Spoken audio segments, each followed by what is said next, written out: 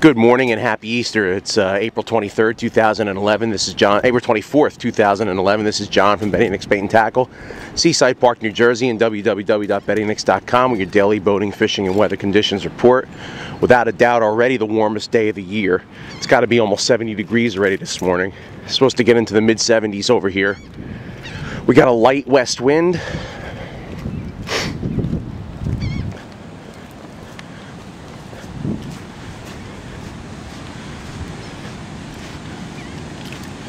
And it looks like we got some good bass water. Had a couple wade in late in the afternoon uh, yesterday.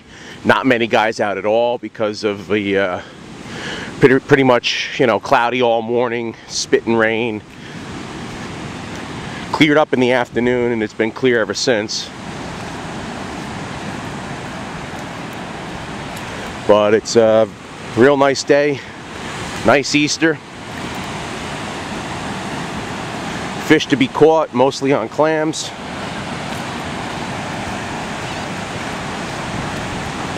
Want to get a look at the water clarity. Kind of murky.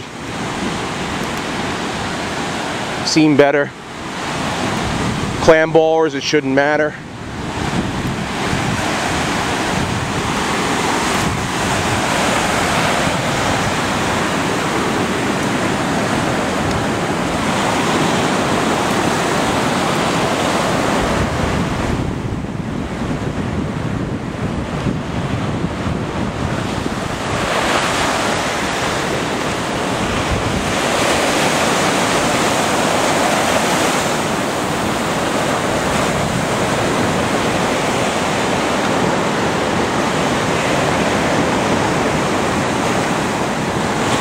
That's about it. Good conditions, nicest day of the year.